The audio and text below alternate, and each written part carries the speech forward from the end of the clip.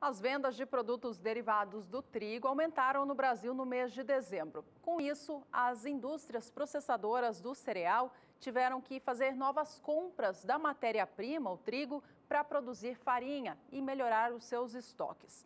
Além de acompanhar o que acontece no mercado brasileiro, os agentes aqui do país também seguem de olho na Argentina. O país deve colher uma safra volumosa e isso tem sido favorável em função da demanda internacional, que é bastante elevada. Os preços por lá estão altos.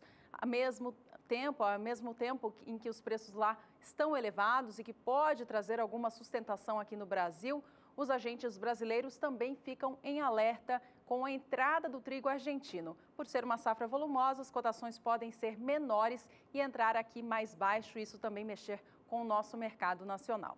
Mesmo assim, nos últimos dias, com a maior compra dessas, desses moinhos pelo trigo nacional, houve uma estabilização nos preços na região sul do país. No estado do Paraná, a gente vê o valor da tonelada do trigo tipo pão ou melhorador operando em 670 reais nestes últimos dias. Nesta quinta-feira, dia 1 de fevereiro, cotação fechou em R$ 670,40.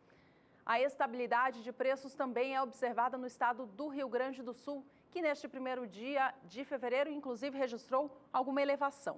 O valor da tonelada do trigo tipo brando fechou a R$ 578,68, já começando fevereiro com leve alta de 0,25%.